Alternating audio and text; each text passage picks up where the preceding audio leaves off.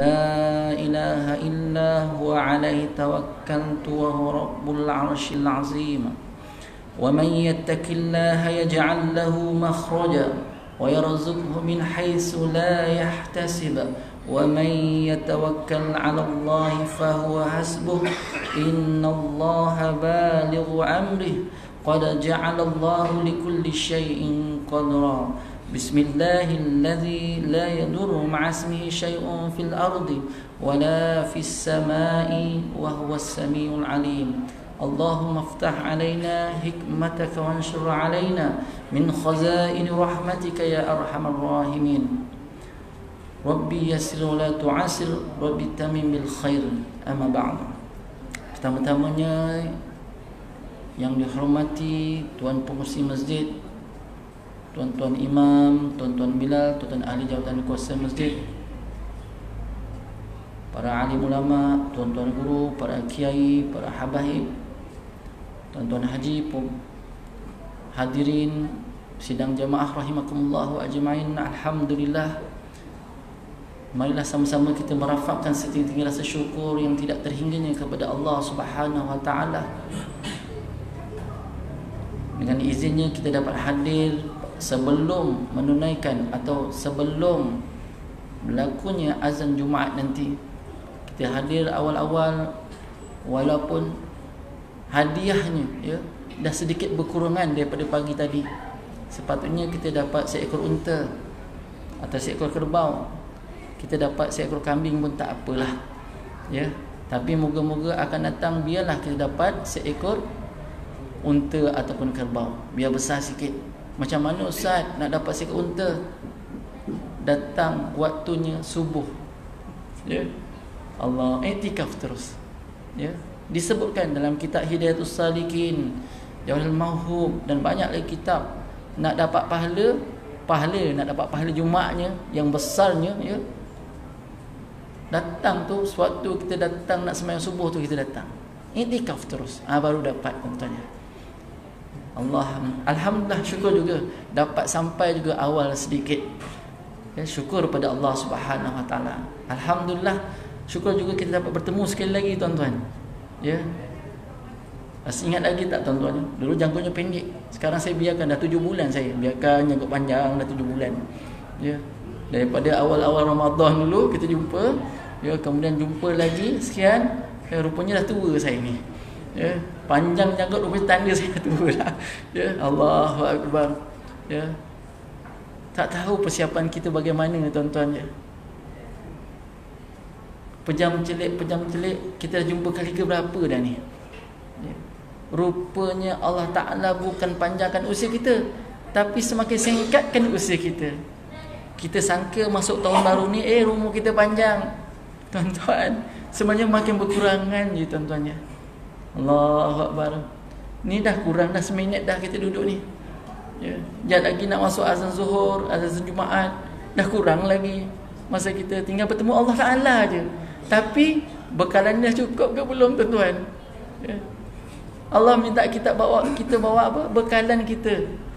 Kalau bekalannya isinya penuh ya, Tapawainya penuh Alhamdulillah Ni tapawainya bukankah penuh suku pun tak ada ni macam mana ni kita ya Allah Akbar.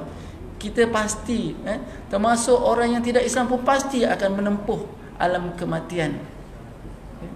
Mereka tak risau dah. Ya, mereka mereka tahu Allah dah bagikan akal fikiran mereka tuan-tuan. Tujuannya apa? Untuk berfikir. Kita ni Allah jadikan akal fikiran tujuannya untuk berfikir. Fikir bagaimana bagaimana nak hidup selamat? Dunia dan akhirat kita ya? Tetapi ada orang fikir untuk selamat dunia je. Senang dunia akhirat tak senang. Kalau nak ha? tak selamat ke akhirat kena dunianya pun turut selamat tuan-tuan. Tak boleh sakit baki setengah-setengah ya? Bahkan bahkan tuan-tuan akhirat tu lebih lagi. Buktinya apa? Kita selalu baca doa. Rabbana atina fid dunya hasanah. Rabbana ya Allah ya Tuhan kami atina datangkan kebaikan atina fid dunya di dalam dunia ini hasanah. Hasanah ni artinya walaupun dia tu kalimah mufrad ya, satu tetapi hasanah itu merangkumi semua kebaikan. Ya hasanah je. Ya Allah jadikan semua ni kat dunia ni kebaikan ya duduk berdiri derma sembahyang ya infak ni haji pergi umrah nakkan hasanah ni tadi ya rabbana atina fid dunya hasanah makan pun hasanah tuan-tuan ya Hasannya apa ni? Katanya hasinun. Hasanun. Hasana. Telah baik. Ya, Hasan. Hasan. Hasan telah baik tu. Hasanah. Jadikan dia mu'annas. Ya. Kebaikan. Dia kata panggil isteri masdar. Hasanah. Ya. Maka kebaikan tu kita minta. Sebutnya satu tapi rangkum. Ha, inilah ya kelemahan kita kita minta satu tapi dalam hakikatnya kita minta semua. Ha gitu. Kan kita jenis gitu. Cik uh, minta air sikit eh tapi sebotol ambil. Minta sikit tapi sebotol dia ambil. Ah itu kita. Jadi Allah tahu sifat kita macam tu. Allah ajarkan Rabbana atina fid dunya hasanah. Sikit je tapi banyak. Ha tu. Allah Akbar. Artinya kita ada sifat loba dia panggil. Ya? Loba dengan tamak tu ada beza sikit tak je.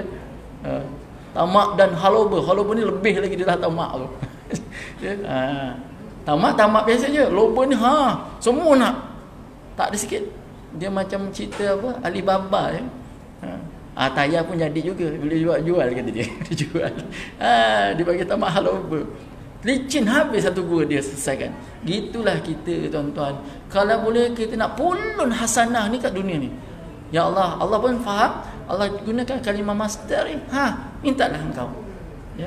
Rabbana atina fid dunya hasanah wa fil akhirati hasanah. Dan pada alam akhirat nanti hasanah juga. Oh tuan-tuan kita minta apa? Mintanya hasanah baik. Cakap ni satu je. Tapi kita nak baik apa tuan-tuan?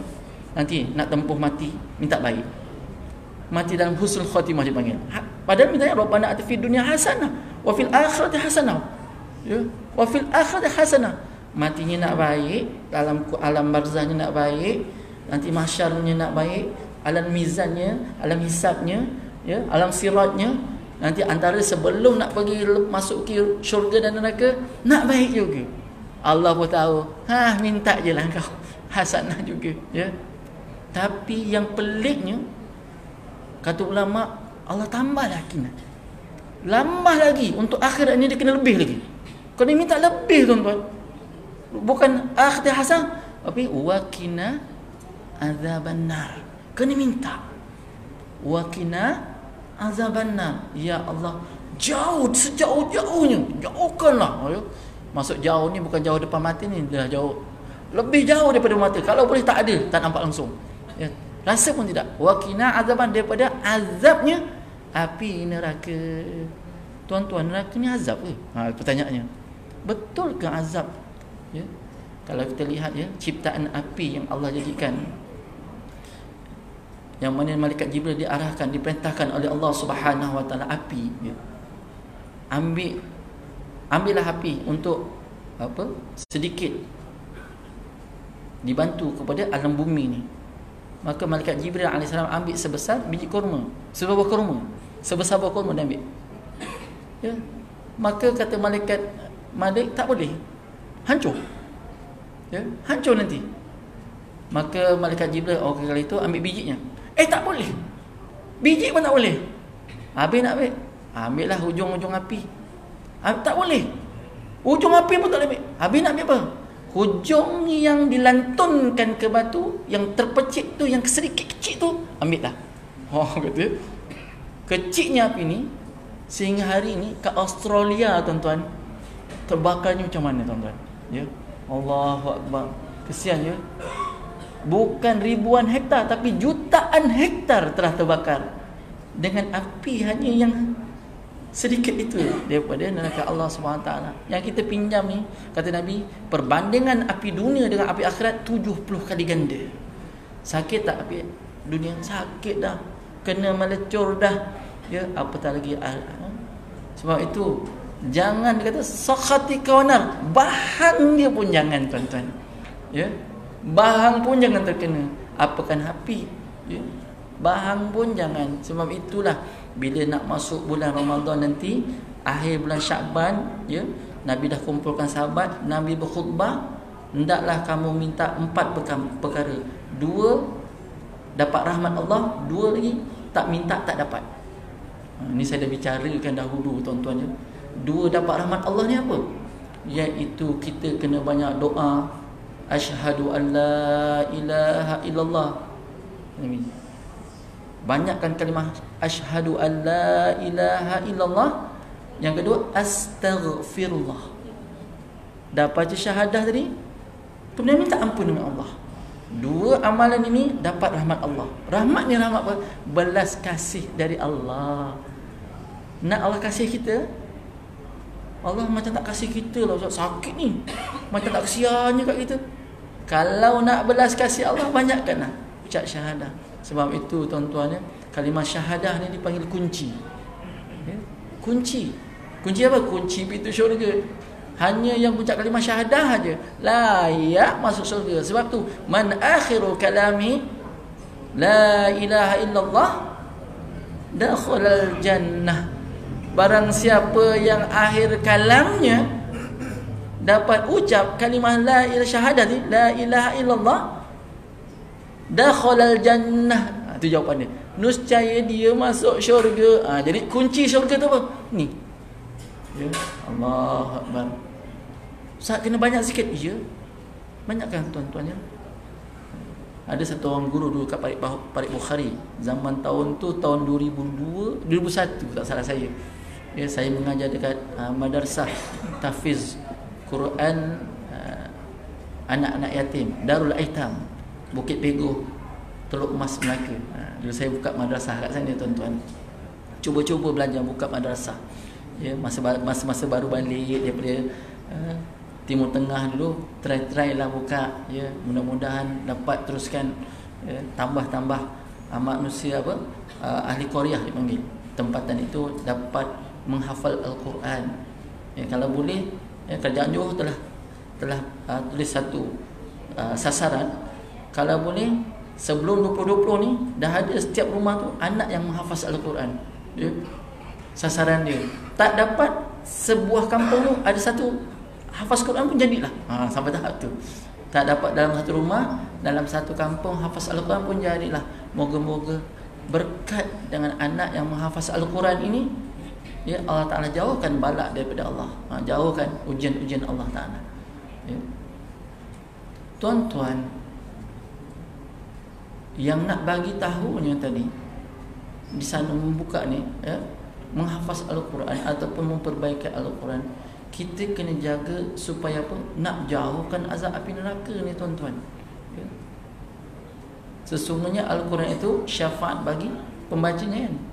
Dalam hadis atau kama disebutkan dalam sepotong hadis tuan-tuan. Sesungguhnya al-Quran itu syafaat bagi pembacanya. Kalau tak baca macam mana nak ada syafaat? Syafaat ni dipanggil take it lesen lesen lesen eh.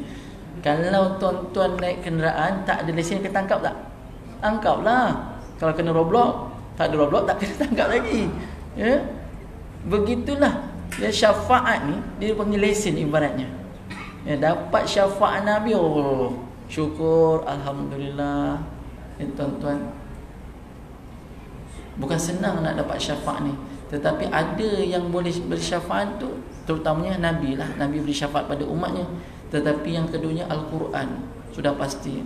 Sehingga kan orang Al-Quran ni Kalau dia ahlinya Malaikat yang bertanya tu Yang jawab ada pembantunya. Dijadikan Al-Quran seperti seorang pemuda ya, Wahai Persi penanya Jangan tanya pada si bulan nak tanya, tanya pada ni. Ha, itu dipanggil lesen. Ada orang, ada bodyguard dipanggil. Kita tuan-tuan kalau ada bodyguard, Masya Allah. Ya, cukup banggalah kita ada bodyguard. Tetapi hidup kita pun tak ada bodyguard. Ya, yang ada Allah Ta'ala saja. Malaikat Rakib dan Atid. Ya, sahaja menemani kita. Tengok kanan kiri tuan-tuan. Ya. Allah Akbar. Jadi berbalik tadi. Ya, doa dalam doa pun Nabi SAW ajarkan ya mengenai dalam al-Quran tentang akhirat ni kita kena minta lebih ya Dah lah Rabbana atina fid dunia hasanah satu. Untuk dunia satu je. Hasanahnya. Tetapi akhirat wa fil akhirati hasanah wa qina azabannar. Ni dua kena minta. Hanya kehidupan kita siapa nak buat bekalan akhiratnya kena lebih sedikit ya lebih sedikit mudah tuan-tuannya nak beramal kita mudah. Nak dapatkan bekalannya mudah tuan-tuan. Senyum. Al-mubtasimu kata Nabi. Al-mubtasimu sadaqatun. Sedekah merupakan sedekah. Senang buat amal baik ni.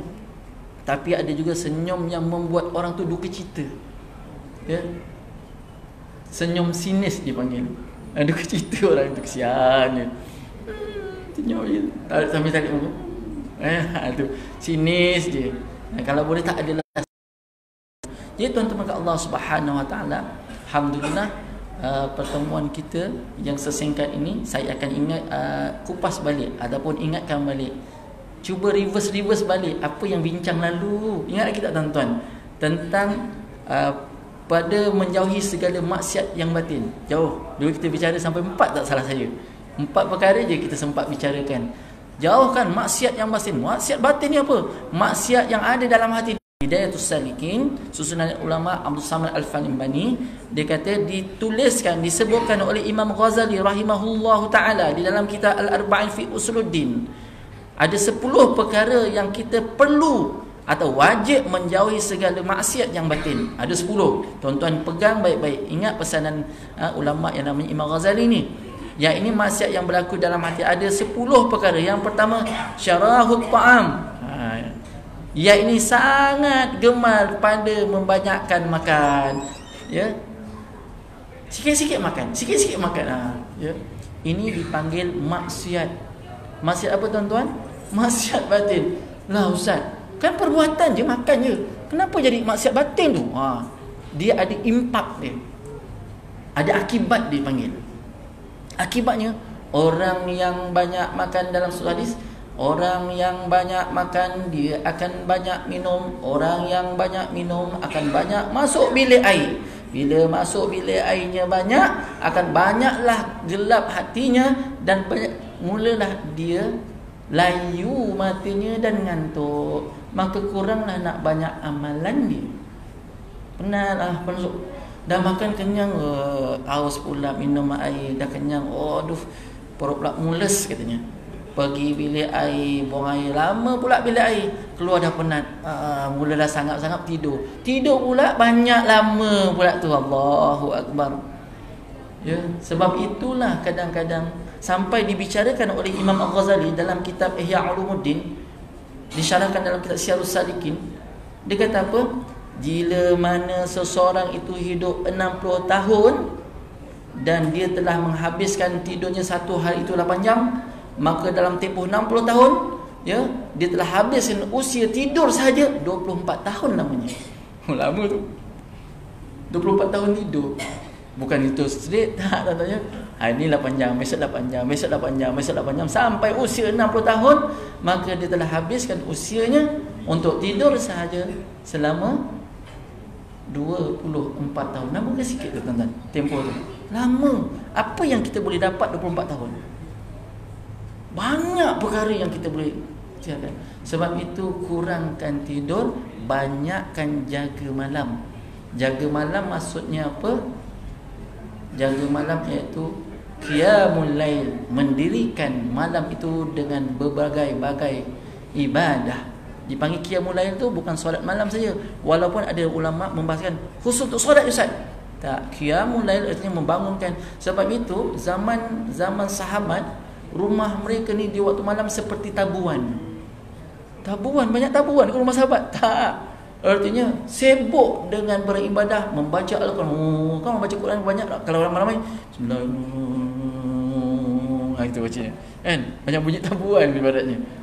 Banyaknya kita kat rumah kita senyap. Bunyi apa? Cengkrik. Kik, kik, kik, kita. Ya, bukan bunyi tabuan. Ha, itu bezanya perbezaan antara rumah kita dengan rumah sahabat. Rumah sahabat tak ada TV Rumah kita ada TV Patutnya bunyi lah Buka lah Dekat TV Dan sekarang pun dah live kan Mekah tu boleh tengok live Ya Dekat TV apa tu Sembilan ke TV Hijrah tak ingat saya Ya ha. Boleh live tengok tuan-tuannya. Dengar pun tak apalah. Kalau saking malasnya nak baca Quran atau qiyamul lail, tengok-tengok tak apa tuan-tuan. Eh, Kaabah, masya-Allah. Ingat, tengok Kaabah ada doa je kan. Sekurang-kurangnya bismillah Allah baru walillahilham. Kalau kita biasa bertawaf kita di, di diajarkan untuk apa? Mengucapkan secara jauh angkat tangan bismillahi Allahu akbar walillahil ham bila nampak hajar aswad itu. Ibarat kita cium batu aswad kan ibarat itu tak sampai jauh sangat. Ha, nabi pun nampak begitu. Itu nabi ajar. Kau dapat lagi bagus cium. Ada orang sekali cium nak dapatkan pahala sunat takut pahala sunat tu berubah menjadi pahala bukan pahala dosa jadi pahala. Senggol orang. Siku. Oh aku nak dulu aku nak dulu. Berbuat tanya Allah kita haraplah orang yang pergi-pergi ke sana nanti betulkan nawaitu nawaitu. Islahul niyah dia panggil. Ya betulkan niat kita. Tapi itu yang pertama tadi syarahul ta'am. Yang kedua syarahul kalam. Yang sangat gemar kepada membanyakkan perkataan. Maksiat juga. Ni maksiat batin. Sikit-sikit cakap ya. Bukan sikit-sikit diam sikit-sikit cakap. Jumpa orang ni cakap jumpa orang ni cakap cakap cakap cakap cakap. Ya. Ini merupakan boleh juga menggelapkan hati. Dan Sayyidina Ali kata apa banyaknya cakap dikuatirinya banyaknya timbul dusta. Banyaknya dusta dapat dusta bila dah dusta? Dosa dah datangnya begitu ya. Ha, jadi kita khawatir perkara kedua ini menjadikan ini salah satu daripada ciri-ciri kita. Maka mulai hari ini kita berazam untuk sedikitkan perkataan melainkan perkataan yang baik-baik sahaja. Yang ketiga ghadab. Ya ghadab. Ghadab ni apa? Marah ini merupakan salah satu maksiat batin kita. Sikit-sikit marah. Tengok orang jalan macam tu pun tak senang hati. Marah je. Buka pintu macam tu orang tak senang hati. Marah je. Duduk macam ni eh, mana pun duduknya ni? Dah mati geram. Oh. marah juga. So, biarlah marah pada tempatnya. Ya? Ha. marah? Marah biar tempatnya. Ya? Kalau tak pada tempatnya maka itu jadikan sebagai maksiat batin dipanggil. Ya? Mak maksiat batin. Dan yang keempat hasad. Ya ini maksudnya dengki. Kita pun orang Melayu PhD-nya boleh tahan. Ya?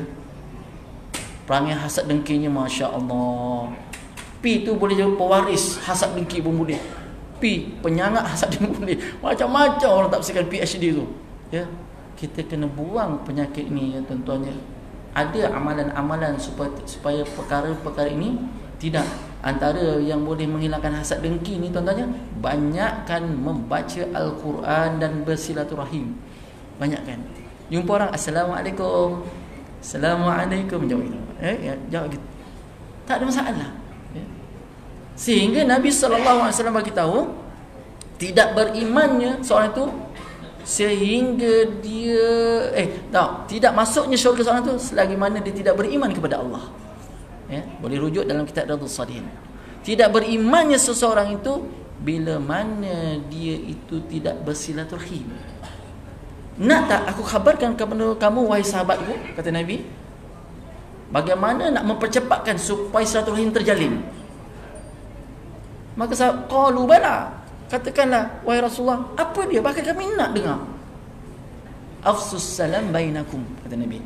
Sebarkan salam. Maksudnya ucapkanlah salam antara kamu. Jumpa Assalamualaikum Tuan Haji, Assalamualaikum Ayah, Assalamualaikum Ibu, Assalamualaikum sahabat. Tapi perkataan ini susah. Ya. Pernah orang tanya, ya, macam mana Ustaz? Gaduh ni bukan setahun, dah 24 tahun gaduh contoh. Ya. 24 tahun gaduh. Macam mana nak baiki? Saya teringat sahabat saya dulu Balik sama-sama pergi Mekah Dia tak balik kampung tu Rasa dah lebih 10 tahun. Gaduh dengan adik-beradik ya? Macam mana nak buat? Hati dah mula sayu. Bila dah kerap pergi ke Mekah Yang tanggungjawab adik-beradik ni Dia mula rasa Apalah aku buat ni? Sehingga kan boleh menyebabkan Aku putus saudaraku. Saya nak buat macam mana? Ha, Saya cakap Ada handset. Ada.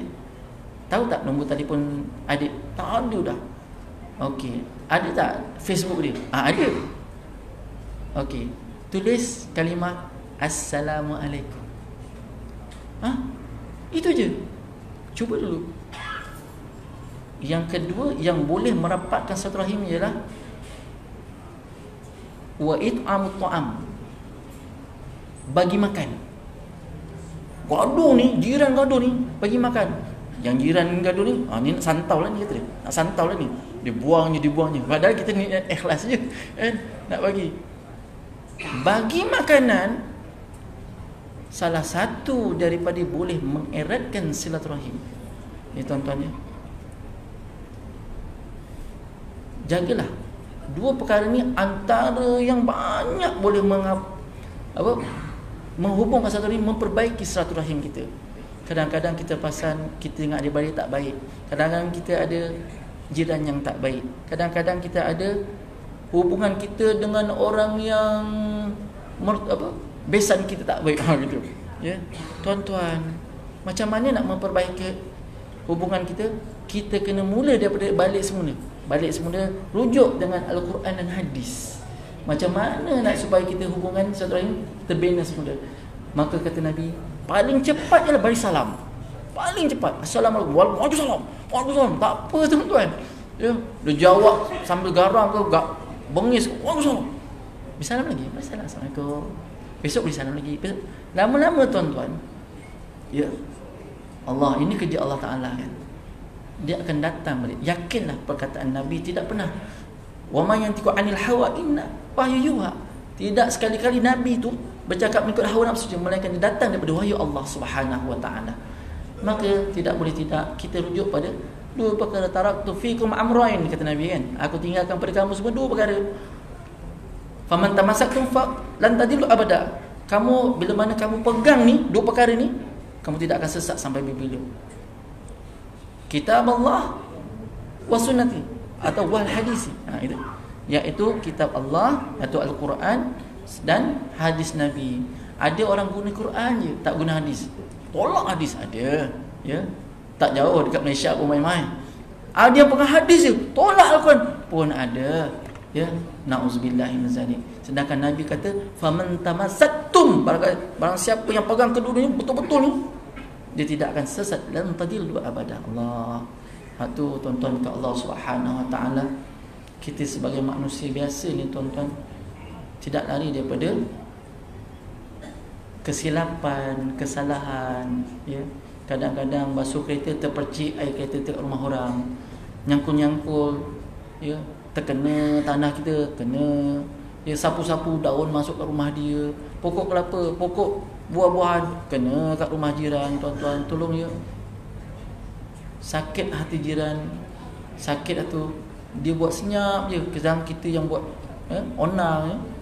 Tuan-tuan takut-takut cium bau syurga pun tak. Apatah lagi jiran kita kalau yang dalam kesusahan lapar. Ya, sepotong haji disebutkan dalam hadis salih dia kata apa?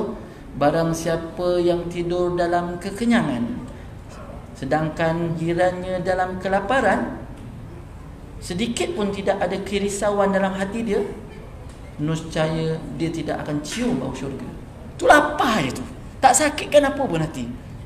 Kita kenyang Sedawa dah 10 kali ya, Asyik makan, asyik makan, asyik makan Allah Jadi tuan-tuan itu perkara yang keempat dia hasad dengki yang kelima al-bukhlu wa hubul mal. Yang ini kikir dan kasih kepada harta. Ya kikir ni apa? Bukhlu, bakhil. Ya. Jiran dah lima tahun pakai baju yang sama. Anak jiran tu dah sempit-sempit sendat padat ketat lagi. Kita buat dia anak jiran kita. Belikanlah yang kita ni minggu ni beli, minggu depan beli, minggu tu beli. Ya. Asyik beli je baju. Jiran tu lima tahun tak pakai. Ha, jadi jangan rasa bakhil sangat. Kemudian hubul mal kata Ha? Dan kelima kata Imam Ghazali Iaitu kasih pada harta Yang dah sealmari ni Tambah sealmari Sedikit pun dia tidak Bagi-bagi ya? Biar dia pakai sendiri Allahu Akbar Na'udzubillah min zalik Tuan-tuan perkara ni kita kena cubalah. Ini dikatakan maksiat batin. Kita kena sucikan hati kita Maksiat ni Supaya hati kita sering suka memberi. Ya? Tidak meminta ya? Atau tidak menagih atau tidak mengungkit. Aku dah bagi dah. Ya aku dah bagi dah ni. Allah Akbar. Kita eh tak faham-faham ke? Tak faham-faham ke? Itu Allah Akbar. Ha, jadi kita kena kena kata orang tu bukan suka sangat dengan dunia ni. Tapi kita jenis suka simpan barang lama. Ya tuan-tuan. Ada setengah orang dia punya habit dia maksudnya hobi dia suka simpan barang yang lama.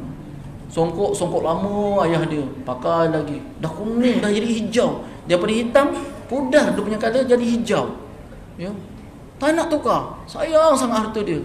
Bagus. Sayang harta tu bagus tapi jangan melampau sangat je. Jangan melampau sangatlah. Tak lalaknya berjuta dah. Simpan lagi. Ya. Allah. Yang tengah cantik, cantik, yang setengah suka tu, bagilah kalau ada orang nak. Ya. Sebab nanti Allah kasih ganda tu 10 kali ganda tuan-tuan. Siap pemberian tu Allah balaskan dengan 10 kali ganda. Pernah cerita-cerita tentang ha? nidamnya Sayyidatina Fatimah. Ya. Walaupun peristiwa itu adalah do'if. Ya lemah. Jadi boleh jadi pengajaran. Bila Sayyidah Fatimah ni dia ngidam buah apa? Rumman delimu ya. tak ada musim bukan musim. Maka yang ada di tanah kawasan-kawasan Yahudi ada. Ya. kawasan-kawasan kawasan Yahudi dia ada buah rumman tu. Buah delima tu. Maka nak dapatkan satu biji bukan senang. Maka berhempas pulas lah Sayyidina Ali mencari rezeki. Dapat sampai ke petang barulah dapat duit beli buah rumman sebiji dalam perjalanan nak balik tuan-tuan dengan isteri yang sedang mengidam buah rumah ni datang peminta sedekah lapar tak makan lagi. Agak-agak tuan-tuan mana penting? Isteri ataupun peminta sedekah? Ah oh, saya kalau saya lah, si isteri saya sayang. Peminta sedekah saya tak kenal. Tiba-tiba minta. Tu bagi kita lah kan. Ha, saya. Tapi Sayyidina Ali kata ini rezeki orang datang kata Nabi setiap kali orang minta bagi. Nabi kata tak bagi kalau tak mampu bagi, apa yang kamu boleh bagi? Apa yang kamu boleh? Tak tahu. Sehingga sekalipun di, di kedua tangan ni memiliki emas. Kalau ada orang datang minta sedekah, bagi. Kalau tak, tak nak bagi, cakap baik-baik. Minta maaf, cik. Ya. Saya tak dapat bagi. Cakap baik-baik. Ini kerja tak? Oh, emas ada gadek lah emas. Kalau kita kan. Nabi kata, walaupun kamu dapati dua pergelangannya memiliki emas. Kalau dia minta bagi, kalau boleh bagi. Oh, dahsyatnya. Saking Nabi sukanya mengajar perkara yang baik ni. Maka Sayyidina Ali kata, bagilah. Bukan bagi separuh, sebiji. Dalam perjalanan tu sebiji balik bagi. Tiba-tiba dalam perjalanan dalam tangan kosong ni dia fikir macam mana nak kasih isteriku yang sedang mengidam Dahlah susah nak dapat bahuman ni Buah delima ni Tapi tiba-tiba ada orang datang minta Fikir-fikir-fikir tuan-tuan ya Allah Ta'ala Dia tahu, maha mengetahui ya. Al-alim sifat dia Maha mengetahui. Dia tahu apa yang sedang dilalui oleh hambanya. Lantas Allah datangkan satu malaikat bawa. Dan Datang jumpa Bagi pada Abu Hurairah. Abu Hurairah Jumpa Abu Hurairah cakap ni sampaikan pada Ali. Sampaikan pada Ali. Ada kiriman. Abu Hurairah tanya Tak tanya tuan daripada mana apa semua tak tanya. Dia pun ambil ni orang yang jujur ni panggil jujur bendul lurus bendul ambil je kasih. Tapi dalam nak kasih dia jengah apa benda? Rupanya ada satu buah ni ada buah ada ada buah. Dia pun ambil satu masuk kocik. Dia pun jalan-jalan ini nak uji keimanan Abu Hurairah pula.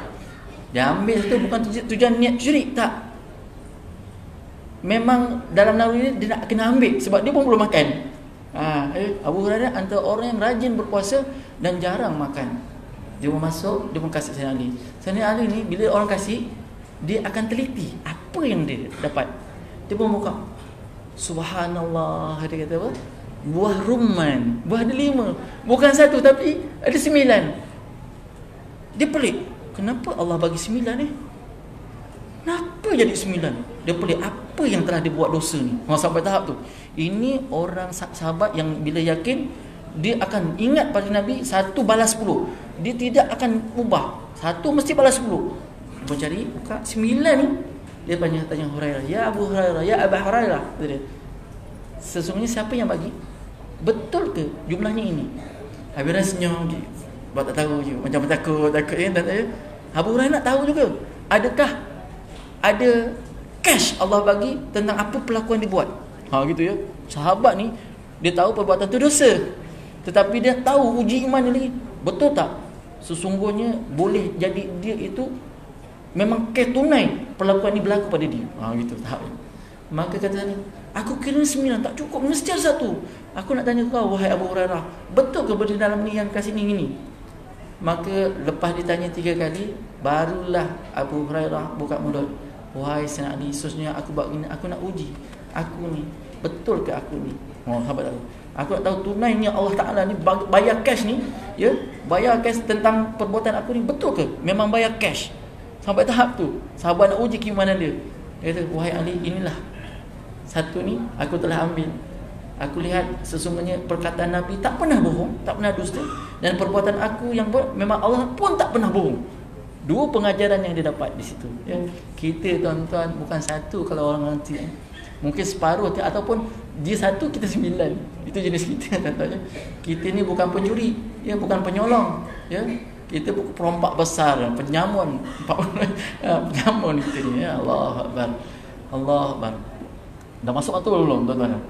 Belum lagi. Berapa minit lagi?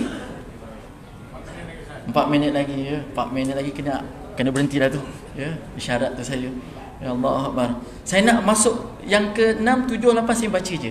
Akan datang kita kupas balik dah tuan-tuannya. Sampai panjang umur kita jumpa lagi. Taib. Yang ke 6, hubul ja'ah. Yang ini kasih kepada kemegahan.